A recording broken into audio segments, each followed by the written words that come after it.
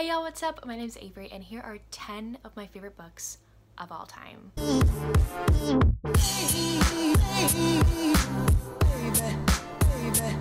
I am super excited for today's video. I get to gush about 10 of my favorite books. Now these are only 10 of my favorite books. I have more favorite books. I have a list of like 22 books that are my favorite, um, but I'm only going to be talking about 10. So if you want to know 11 more, 12 more, I can't count. Comment down below, let me know. All of these are all-time favorites for me. Um, there's maybe only one or two that like outrank the best as my favorite books of all time, you know? Um, but I love all of these books with every fiber of my being. And so I'm gonna gush about these books to you right now. So not all these books are categorized as romance books, but all of them have a romantic element in there, whether it be a solely romance book or there is a couple in the book that I am absolutely obsessed with. That's probably why I loved the book so much. So we're gonna get the obvious one out of the way, and it is Radiance by Grace Draven. This is my favorite romance book of all time. This is a friends to lovers fantasy romance that I love. I love it so much. this is about Ildiko and Brishen. Ildiko is a Gauri woman who is essentially like a human. And Brishen here is a Kai man. He is a spare prince and she is the niece to the Gauri um, king. And so they have to be in an arranged marriage to unite their kingdoms or have like peace between their kingdoms. Both of them are from a different race species on in this fantasy land.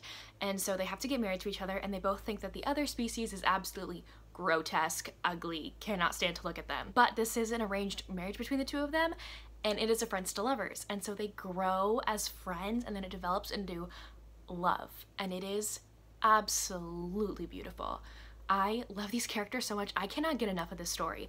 I am a sucker for Friends to Lovers. I love Friends to Lovers so much.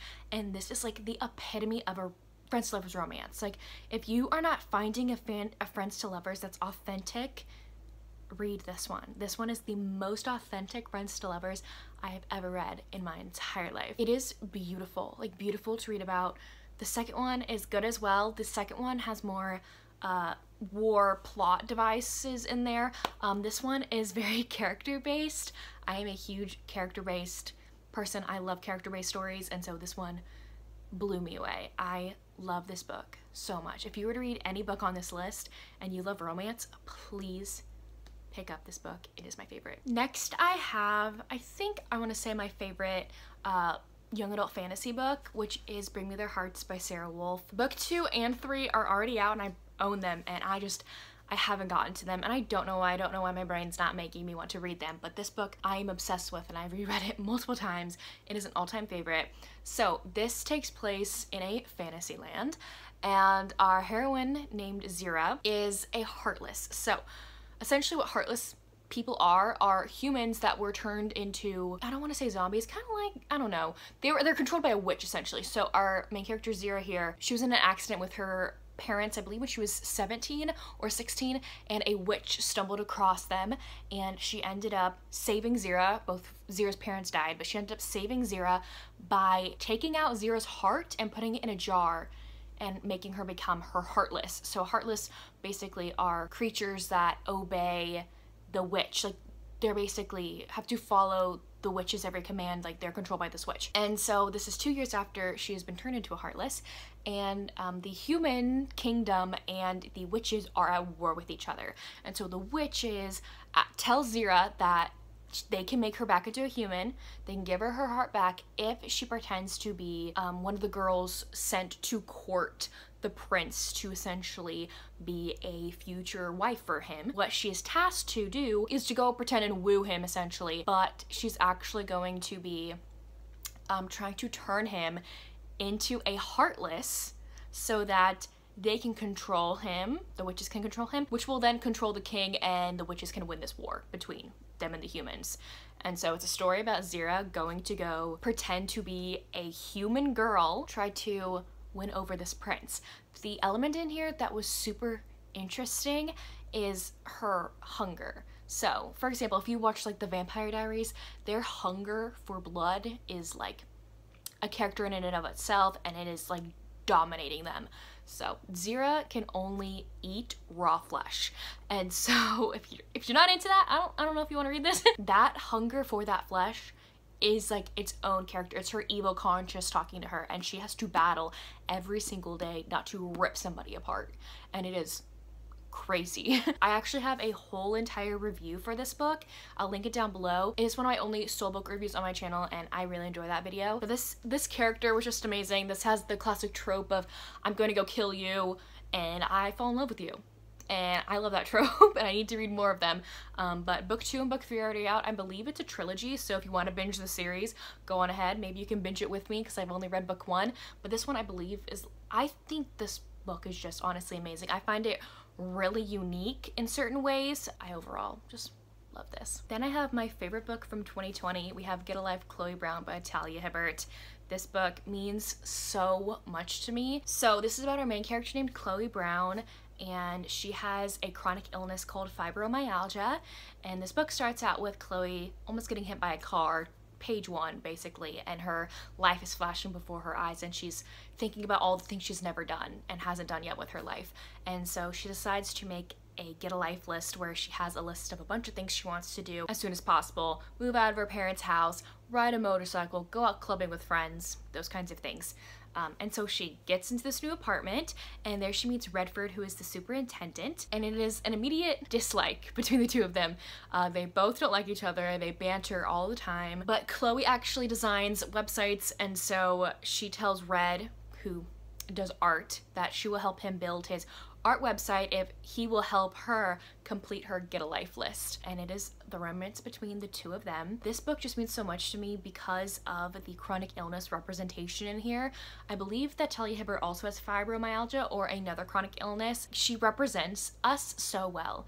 People who have chronic illnesses. Like it is honestly just amazing. I know a lot of people love um, Take a Hint, Dani Brown, which is over there, um, which is the second book in this series. And everyone, most people like that one more than this one. Well, this one is my favorite. I love Dani and Zaf from Take a Hint, Dani Brown, but this one just, it means so much to me and like Chloe's story and Chloe's journey and I connected with her so much and I felt her on so many levels and I've experienced similar things to her and it just it honestly broke me when I read this like it broke me. This romance in here is honestly bomb fire amazing as well i love this couple so stinking much i can't wait for book three in the series to come out which is about eve but yeah this is definitely a favorite of all time for me i have so many tabs in here i could like sit here all day and gush about this book but we gotta move on. Next, I have another romance book, which is Royally Matched by Emma Chase. So a bunch of people probably don't even know what the series is. So this is the Royally series by Emma Chase. I have the other three here. I'll just take them out. The other three in this series, which is Royally Screwed, you've probably seen this one before. Royally Screwed is the first one, and then Royally Endowed is this third one, and then uh, Royally Yours is the fourth one slash the kind of like prequel book. I love this series so much. The main reason why I love this book so much is because I am this heroine. Like this heroine is me as a person and I connect to her so much. This book is like Bachelor Royal Edition. You do have to read book one before this one or you won't really understand what's going on, um, but you can just fly through book one. Book two is about Prince Henry to this country, this made up country, um, but it's real in the book.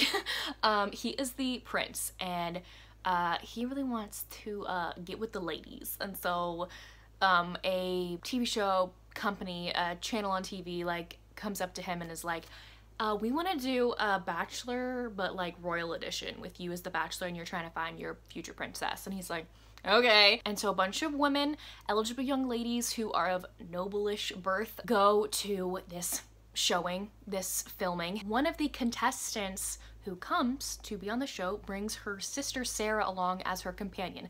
Sarah is not going to be on the show, um, but she's just there to keep her sister company. And so Henry meets Sarah and is a romance between Henry and Sarah. This heroine is me. She is me. She is shy and unsure and caring and understanding and a bookworm and there's this one scene in here where um, she collects these old withered very valuable books to her and Henry just does not understand and is like it's just a book and she like has to explain to him how much these objects mean to her. Beautiful, beautiful. I I love her so much. Sarah is me. If you ever want to know what I am like as a person, like as like my personality, me as a person, it is Sarah in here. I feel like Emma Chase like wrote me as a person in this book. Again, another book that I absolutely adore and it is one of my all-time favorites for sure. A very obvious one that will be one of my favorites for a very long time is A Court of Mist and Fury by Sarah J Maas. This is the second book in the A Court of Thorns and Roses series if you did not know and I love this book. Um, uh, I know a lot of people have issues with Sarah J Maas and everything and think she's overhyped, which at this point so many people are talking about her she was not like she was not overhyped like this whenever I read it. I read this book when it first came out. I read ACOTAR for the first time the week it came out and like nobody was talking about it nobody knew what it was and so it's kind of very interesting to see how much this series has gained in popularity um, throughout the world throughout our country throughout tiktok specifically. If you didn't know about this series this is a uh, fantasy series. People say it's ya i call it new adult. It's kind of like the bridge between adult and young adult books. And so Feyre in here is a human and she ends up killing a wolf on fairy lands and fairies and humans don't mix anymore. Um, and then she kills this wolf who may or may not be a fairy and then she brings that wolf home and later that day a beast comes and takes her back to his land in retribution of killing his wolf friend. It's a Beauty and the Beast retelling. The first book is good. I didn't know how the series was going to progress and I didn't know what I had to look forward to whenever the first book came out, but this second one, I have read it so many times. I can't even like I can't even guess what how many times. Like I can't, mainly because the audiobook is one of the best things ever to listen to. I will listen to it to help me fall asleep. Like it is so soothing and welcoming. Like a warm hug that I can sink into. This book is just so good. The other books in the series are great and all, but I feel like this one, just like the story that both of our main characters in here have to go through and the characters that we're introduced to in the storyline, it just, I feel like this book is like perfection, like perfection in a series. Um, and I cannot wait for A Court of Silver Flames to come out because it's probably already out at this point um, by the time you're watching this. So um, it comes out in four days for me, so I am counting down the days. Next, I have two classics in here that just are everything to me. First is Little Women by Louisa May Alcott. This book is amazing. This is about four sisters during the Civil War era in America and just their life. And I know that a bunch of people are very bored by this book and don't get this book and just find it very boring. I, I love it. I love it so much. I don't know, this is just my kind of story. I love these sisters so much. We have um, Meg, Amy, Beth, and Jo. Um, and these just, these sisters, like, are everything. They're everything. I love them so much. And each sister in here, every single girl is different. They're, they're raised the same, they're loved the same, but their personalities, the way that they hold themselves, the way they, they talk, the way that they care for others is so different. It, it's honestly just amazing how Lucy May Alcott can like make this group of women like be sisters and love each other even though they're all vastly different from one another. It holds such nostalgia for me. Um, I hadn't read the book until last year, I believe was the first time that I read this book. Um, not last year, sorry, 2019. but I grew up with the movie. I grew up with Winona Ryder being Jo and just watching that movie over and over and over and over again. And when I finally read this book, it was amazing. It was amazing. And the the new movie is amazing as well, but I don't feel like anything can beat the Winona Ryder version in my eyes because I grew up with it. Um, but I love both. But this book just really like holds a special place in my heart because it's something that I just I love it. I love it so much. I love these women so much. I love these sisters so much. I love just watching them grow and develop and fall in love. I also am a person, again, who likes character-driven books.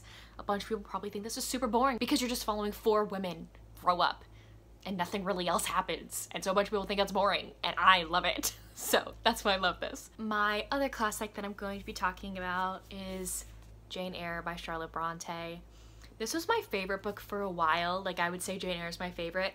I don't know if I would necess necessarily say that it is my favorite of all time anymore. It is definitely one of my favorites. I don't think I have a favorite of all time book anymore in all honesty.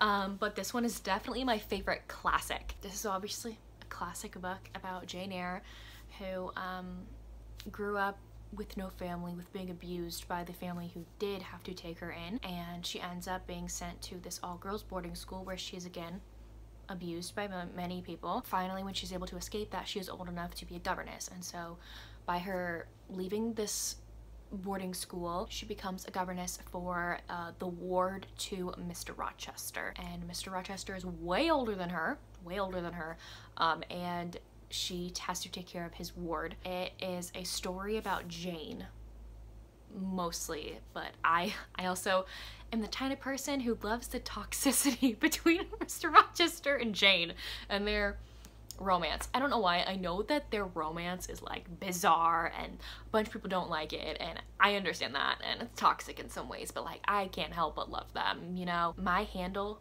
for my Twitter before I deleted it was literally future Mrs. Rochester. yeah. Uh it's for fictional Mr. Rochester here. I love Jane so much. I love seeing her grow into an amazing, beautiful, confident, independent young woman by the end of this. If you're to read any classic, I feel like this one is the best of all time, other than Little Women, obviously. I love Charlotte Bronte and the way that she just writes her book. I love all the Bronte sisters, um, but I don't know, Charlotte Bronte, this book is just everything. I connected with Jane like so much in here. Her story, what she goes through.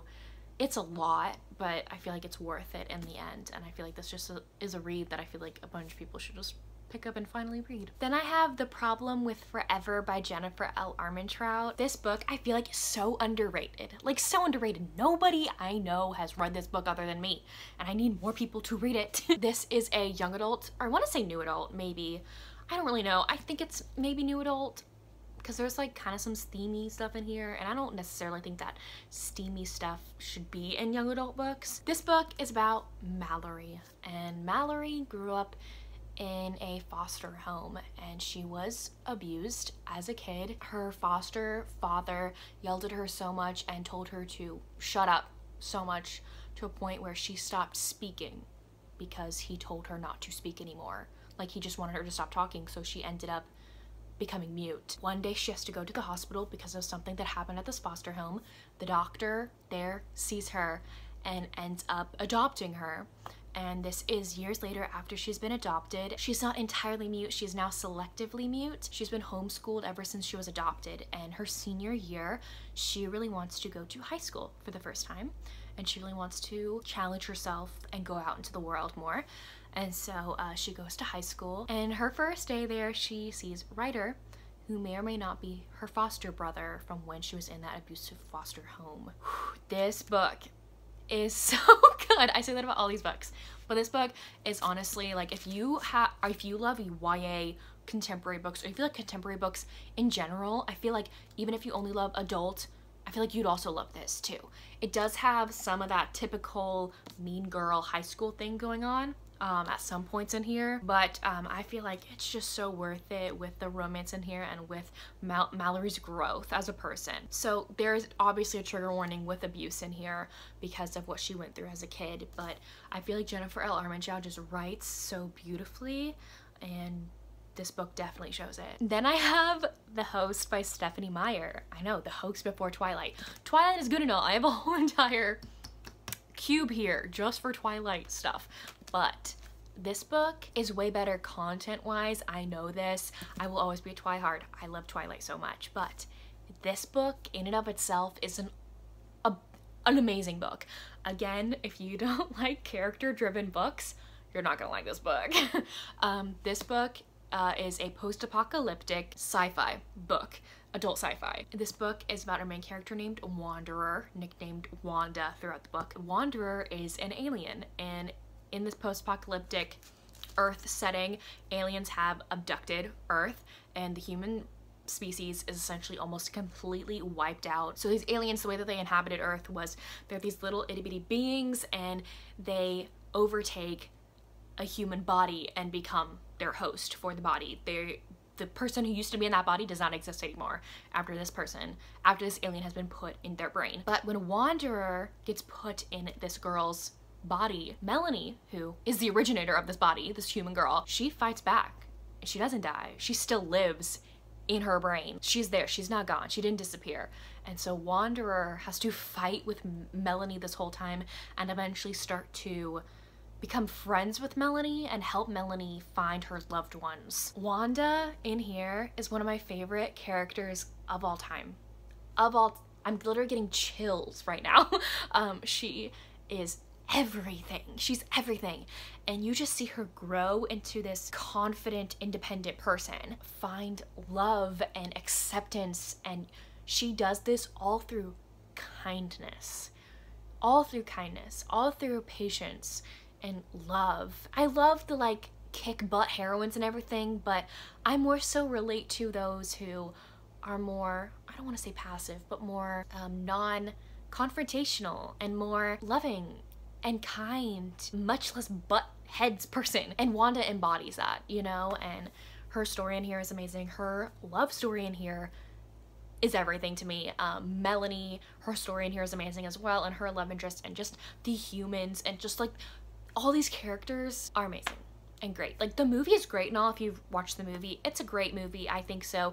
The book is 1,000 million times better. And lastly, I have Salt to the Sea by Ruta Sepetys.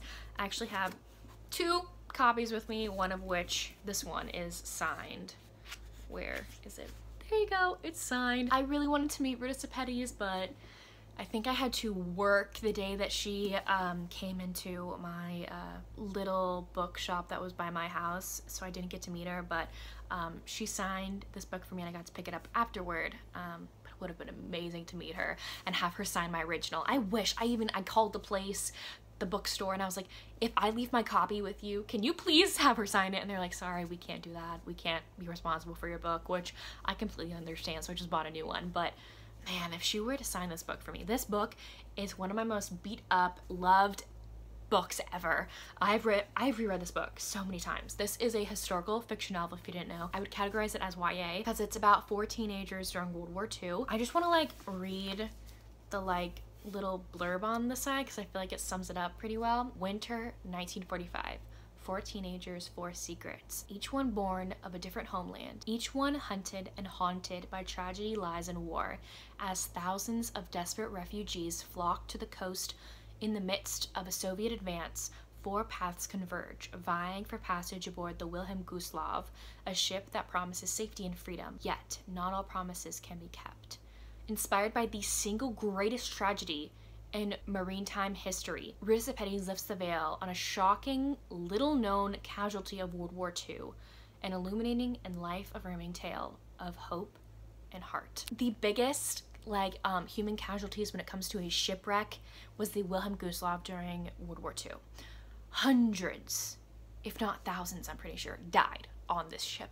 Everyone thinks of the Titanic as devastating. This I believe is triple that. And so these four teenagers, by some circumstance, end up all on the ship together and you read the perspective of each teenager in here. My favorite character in here is Emilia.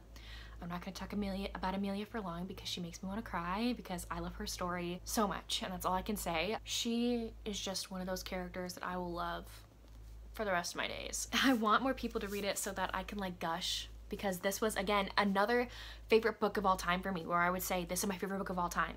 I don't have a favorite book of all time anymore, but this is definitely a like top three for me. This book is just haunting and beautiful and educational and just like devastating. Like devastating. If you want to get into historical fiction, please read this book. Please, please, please, please, please. Um, I feel like this is a great starter book into the genre. It's just it's beautiful. These characters are all great and they're so different and you get to see how they end up coming together um, on this ship. So there you have it. Those are 10 of my favorite books all time. I loved gushing about these books for this long. If these are any of your favorites as well, please let me know. Or if you want to read one of these books, please let me know. If you end up reading one of these books, please, please, please, please like DM me on Instagram or something and I want to talk to you about them because I love gushing about my favorite books, obviously. Thank y'all so, so much for watching. I will see y'all soon in my next one. Bye, y'all.